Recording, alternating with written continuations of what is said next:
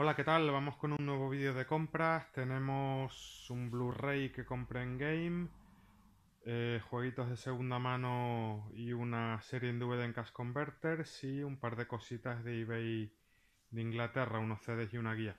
Bueno, vamos a empezar por orden alfabético, alfabético, cronológico.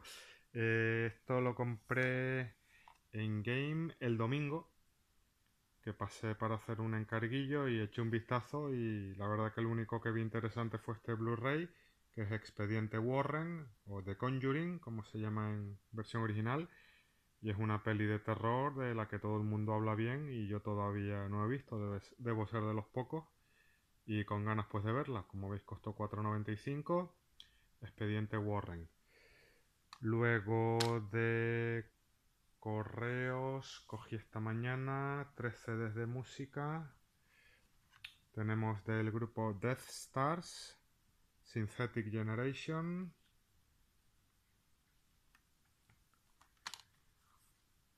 Del grupo de punk rock, eh, sueco Pennywise, el Land of the Free. Y en formato Digibook, el CD este de Machine Head que se llama Bloodstone and Diamonds.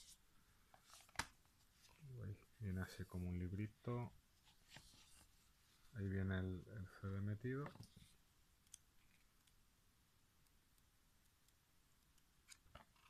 Bueno, ahí está Machine Head y el Bloodstone and Diamonds.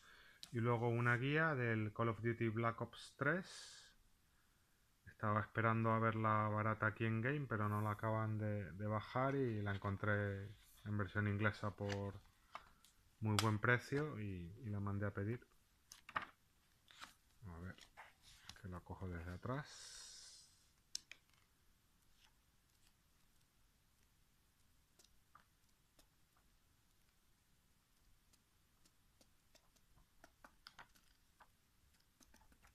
Otra guía más de Call of Duty. Black Ops 3.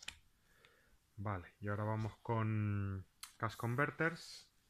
Conseguí un juego de PlayStation 1, que ya es noticia. Este World Destruction League Warjets. Este costó 5 euros. Y es un juego curioso porque este como son dos de la saga, eh, se llama eh, World Destruction League, no sé qué tanks, ambos salieron cross-gen, o sea, salieron para Play 1 y también salieron para Play 2, que en esa época era raro que los juegos salieran cross-gen, excepto pues los típicos, los FIFA y tal. Y cogí el de Play 2 para que lo veáis, que lo puse por aquí. Bueno, tiene portada diferente, pero es el mismo juego de 3DO, World Destruction League Warjets. En Play 2 y en Play 1. Luego de Play 2, eh, un Dancing Stage que no tenía, que costó 2 euros. Dancing Stage Max, la saga de baile de Konami. Pone que es compatible con iToy. Y luego de 360 compré 4 juegos. Eh, el Saints Row 4, que costó 4 euros. A 1.50 el Tom Clancy's Splinter Cell Double Legend, versión Classics. A 1.50 también el Brink Special Edition. Y a 1.50 el Pictionary, que es para usar con la tableta esta que sacaron UDraw que casi hunden la miseria a THQ, porque fue un, absoluto fracaso. Luego de Wii no tenía el DJ Hero, el primero, tenía el segundo y lo vi a 50 céntimos y pues para la colección que se ha venido. 50 céntimos, DJ Hero, el primero. Y terminamos con la temporada que me faltaba del ala, oeste de la Casa Blanca, que por el rayajo azul este que tiene es que cuesta 2 euros. Pues toda una sorpresa encontrarme esto, porque lo andaba buscando a buen precio. Y para terminar la, serie, que es una serie que está muy bien. Tengo la sexta por ver, porque la pedí no hace mucho a, Inglaterra y no he tenido tiempo de verla y luego ya terminaría con esta séptima. de West Wing, el ala oeste de la Casa Blanca. Pues vamos a repasar brevemente las compras. Nos habíamos quedado en esto, el ala oeste de la Casa Blanca séptima temporada, 2 euros en Cash Converters.